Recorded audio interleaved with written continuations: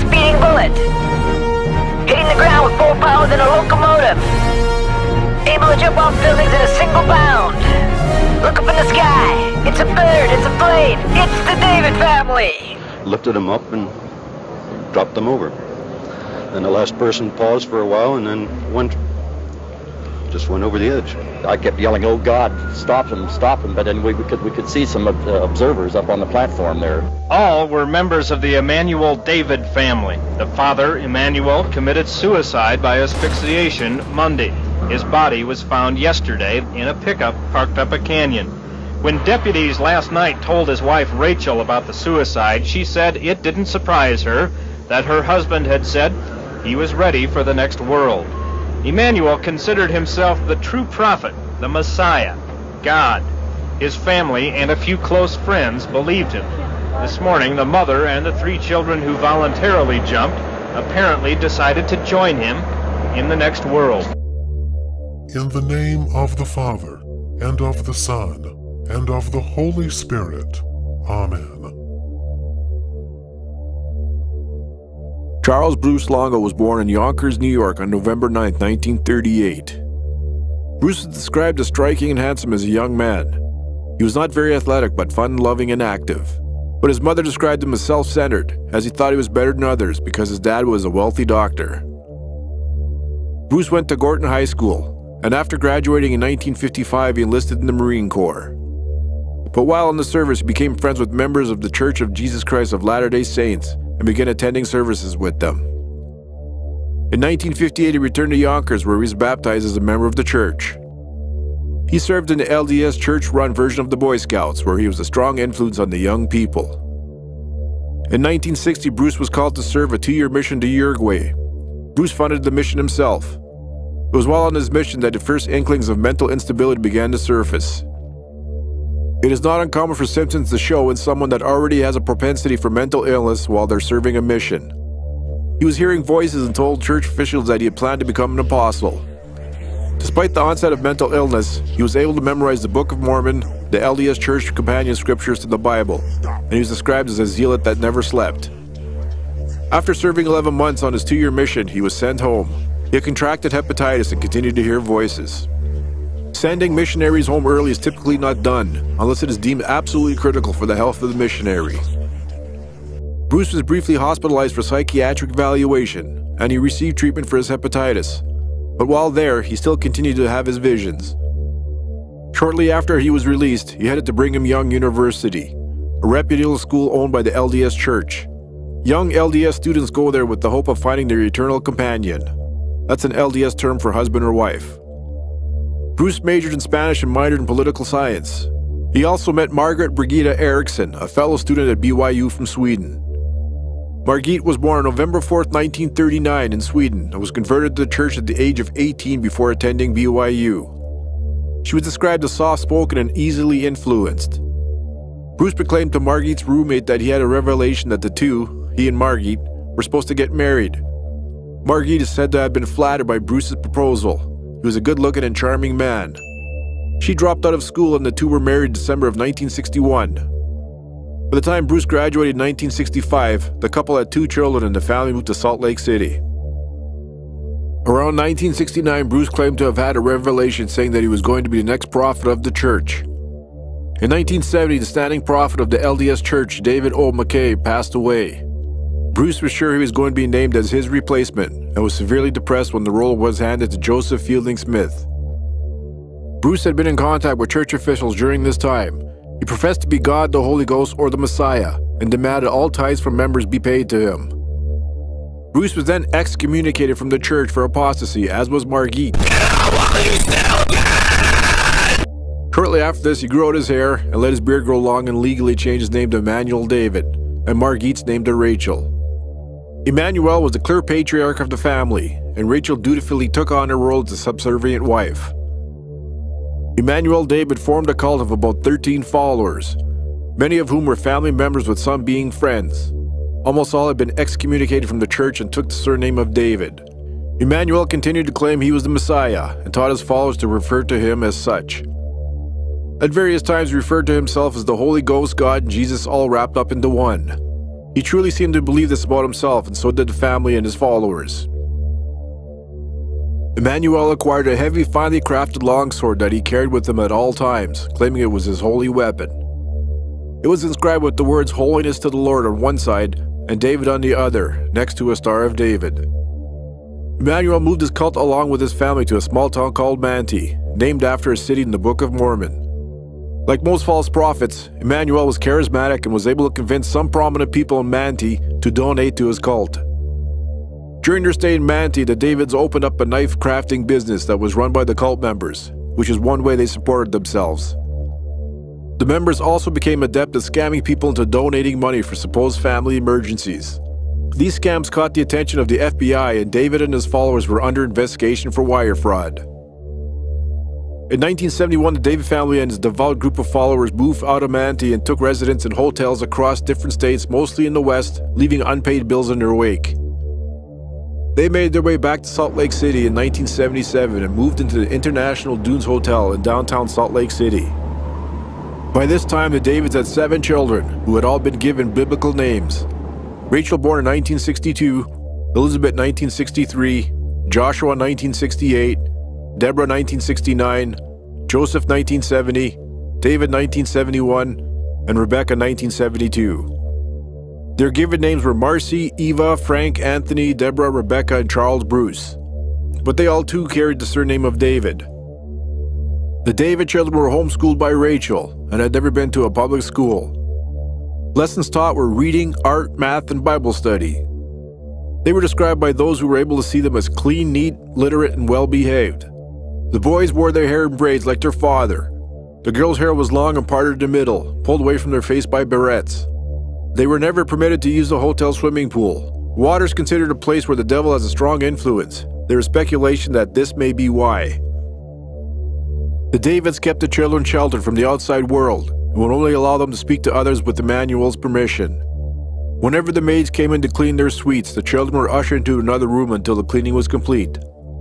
The Davids stayed in rooms 1105 and 1106. The hotel suites they lived in cost $90 a day and was paid daily with cash by Emmanuel with a crisp $100 bill. They would order food from expensive restaurants in the area, as Emmanuel had a big appetite and was a large man, weighing about 300 pounds and standing 6 foot 4, it was figured that the Davids needed about $300 a day to maintain their lifestyle. That's equivalent to about $1,200 in today's money. Emmanuel did not work and hadn't since 1965, except for an odd job here and there. The family's living expenses were being funded by its members, some selling their homes and belongings and handing the proceeds over to the Davids. Even prospective members would pay the privilege of belonging to this cult, with one such woman donating $25,000 to the Davids. Another devoted follower, who had been a member of the famed Tabernacle Choir at one time, conned some of those members and friends out of money to hand over to the David family. This cult member was convicted of wire fraud and spent five years in prison. He used the story of a paralyzed nine-year-old girl in need of money for medical expenses as the con. He pleaded guilty to charges, but in later years he denied being involved in any illegal activities. Needless to say, there was all manners of fraud and scams going on those years that never came fully to light. This all speaks to the effectiveness of Emmanuel's charm. Emmanuel David had friends outside the cult that helped him out as well, by loaning him money and use of their vehicles. One such friend was a man of means, who was a missionary companion of Emmanuel while in Uruguay. This man is still living, so I won't use his name, as he has struggled throughout the years for giving Emmanuel cash and loans and just generally buying into Emmanuel's stories. This friend was under the impression that Emmanuel had access to money due to his extravagant lifestyle.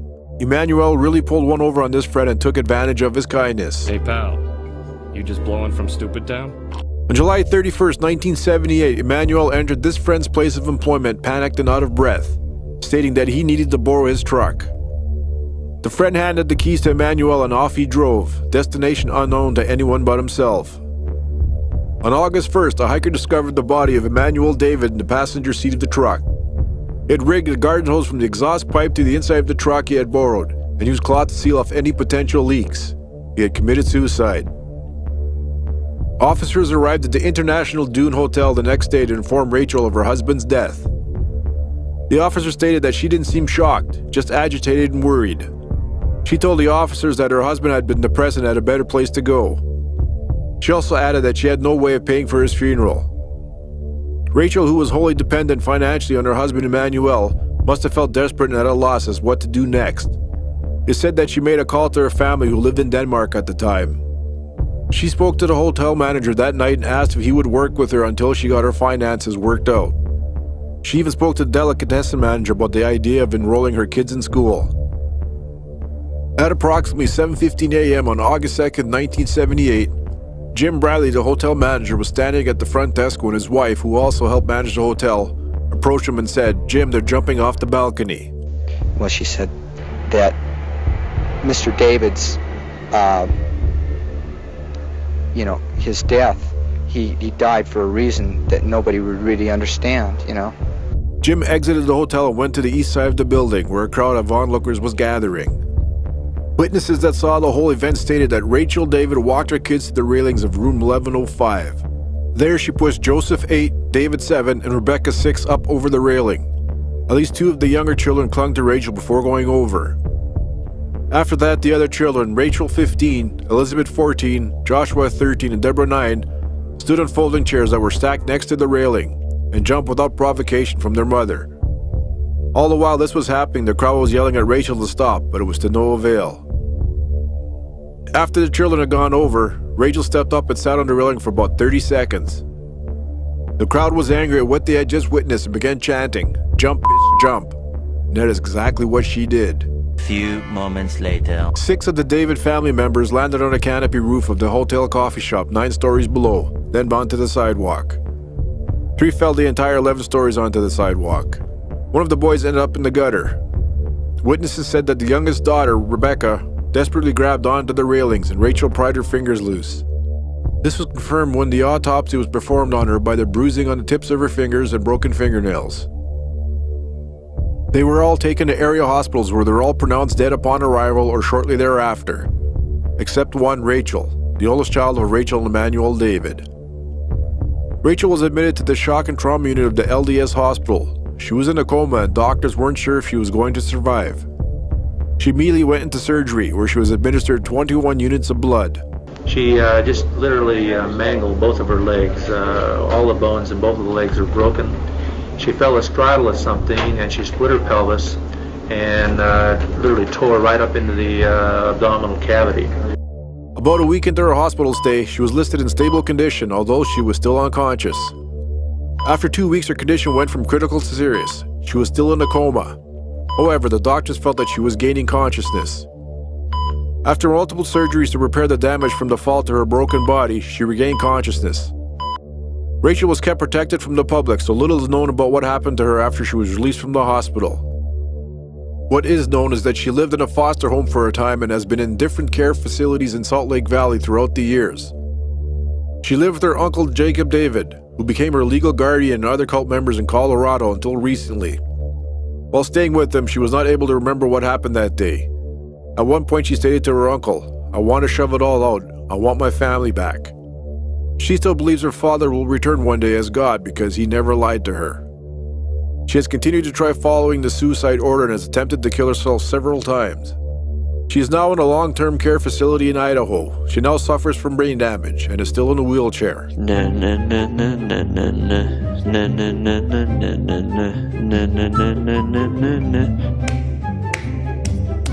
It is speculated the reason Emmanuel committed suicide was the loss of disciples, which resulted in less cash, pending investigations, and unfulfilled prophecies. One fell prophecy was that California would fall into the ocean and that Salt Lake City would be consumed by fire. The David family was buried together in Taylorsville Memorial Park Cemetery in Salt Lake City. And as recently as 10 years ago, members of this cult still remained and believed that Emmanuel would return to Earth as God. The suicide leap killed the mother and four of the children instantly. Three others were transported to hospitals where two of them died a short time later. Emmanuel David thought he could destroy the whole world if he concentrated hard enough. Emmanuel David, whose body was found on Monday, he died by asphyxiation. Well, she said that Mr. David's, you know, his death he, he died for a reason that nobody would really understand. Their act may have been carried out so that they could join him in what Rachel David called the next world.